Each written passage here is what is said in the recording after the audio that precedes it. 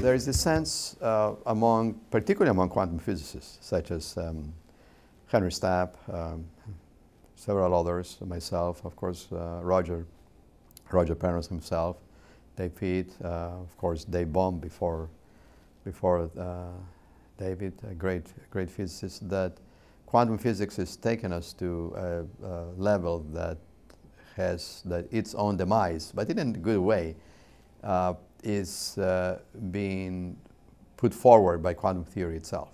That we're reaching a certain limit that clearly it has to be the next stage, has to be there, and we don't quite know what the next stage is.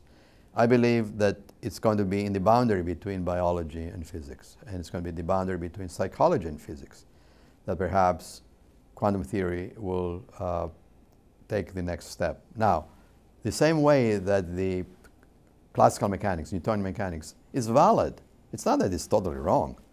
It's valid in its own regime, its own uh, limited assumptions or certain conditions. Yes, classical mechanics holds. The same way that special theory of relativity applies, but in a more generalized way, it's really a special case of the general theory of relativity. There will be a generalized quantum theory that the present quantum electrodynamics, quantum chromodynamics, and even when we get the string theory perhaps developed, there will be special cases of a faster theory that I believe has to take consciousness into account in a fundamental way and life in a fundamental way.